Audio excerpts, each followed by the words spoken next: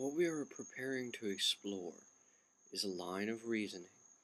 comparing the human brain to a phi spiral and then comparing a phi spiral shaped timeline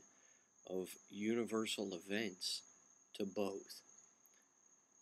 The goal of such a model is to propose an alternative form of light cone, one that is not straight up and down with a right angle between its base ellipse's centroid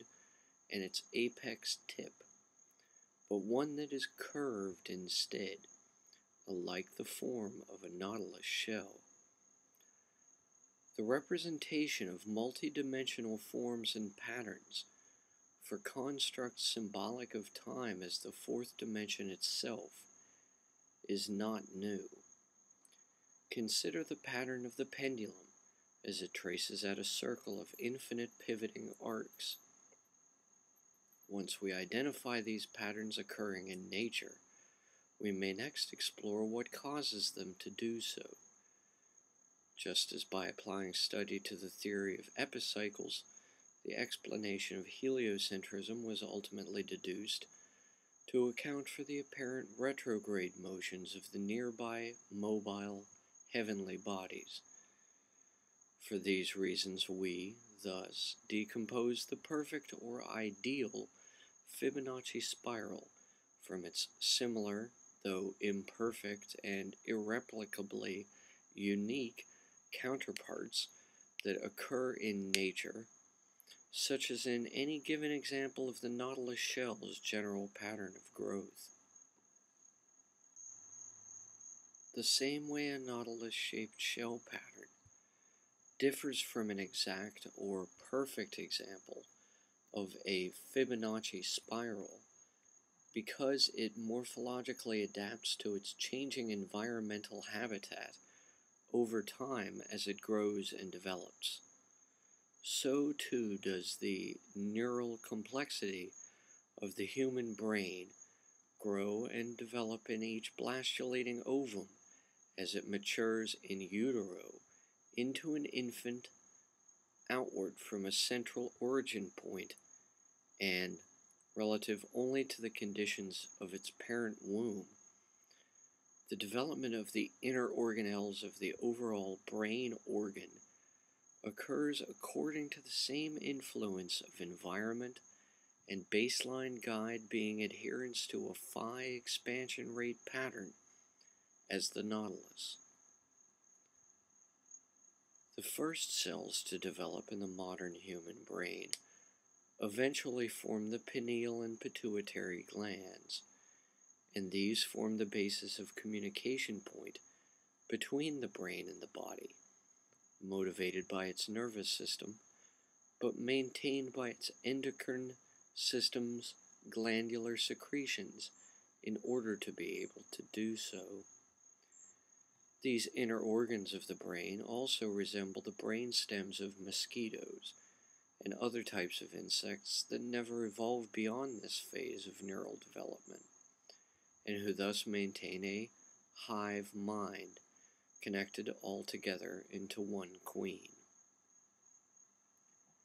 The next phase of neural sub-organ development to occur in the human brain corresponds to the reptilian brain stems pattern and occurs in the hind brain structures of the human brain.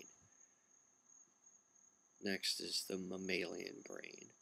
and this includes the majority of the remainder of the cerebrum,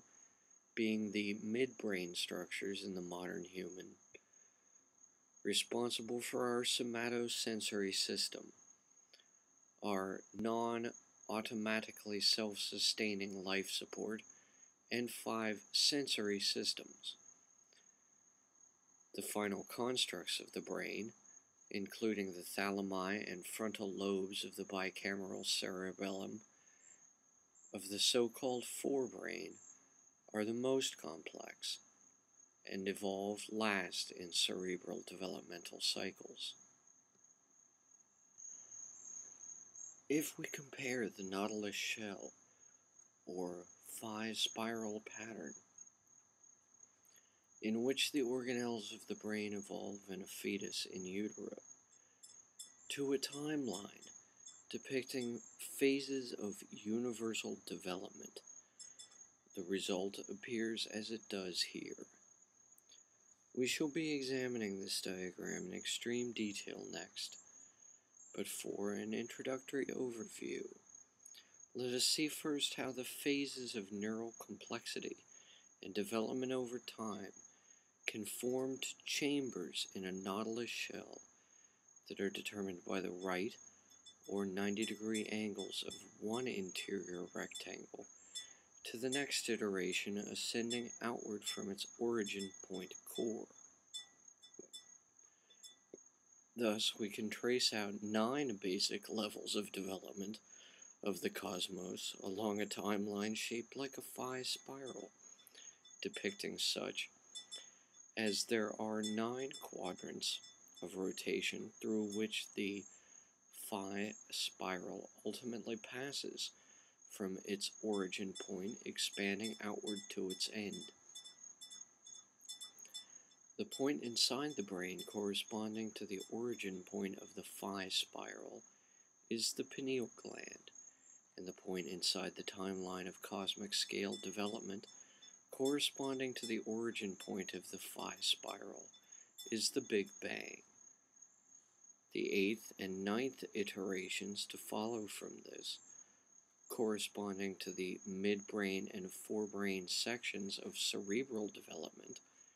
and to the realms of universal evaporation as matter decays into energy, and to the subsequent nulliverse of pure ZPE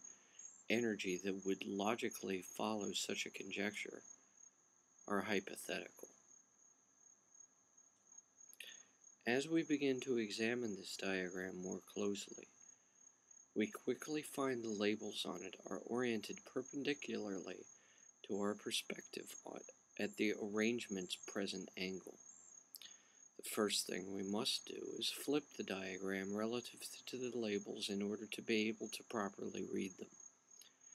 To do this, we reorient its position relative to us by a 90 degree or right angle rotation counterclockwise